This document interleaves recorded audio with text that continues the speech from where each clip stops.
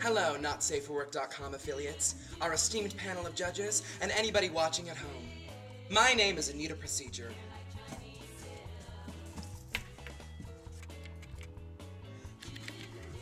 For those of you who don't know me, I'll give you a quick little summary of who I am as a drag queen. I'm 20 years old and I've been doing drag for about two years. As soon as I turned 18, I started performing in local clubs, and I've gone on to perform in musicals, cabarets, and burlesque shows.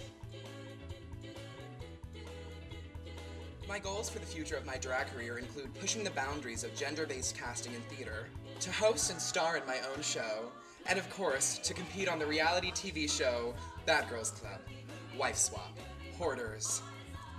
It is moist up in here. Ooh.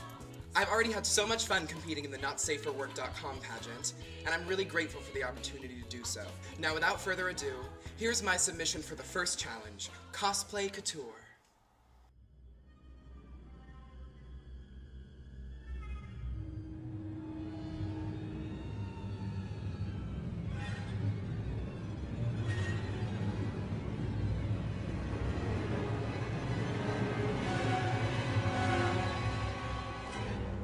My cosplay couture, I have chosen to cosplay as Bellatrix Lestrange from the Harry Potter series.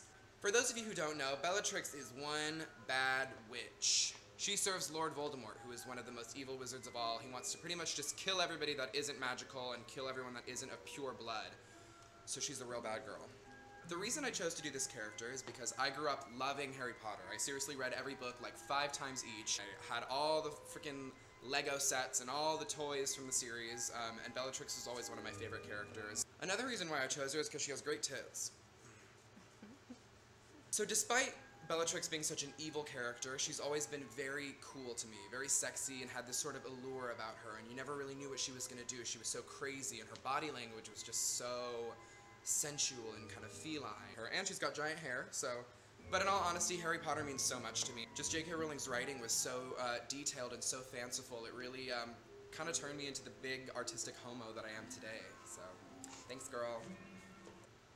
Another cool thing about this costume is I got to use my real teeth.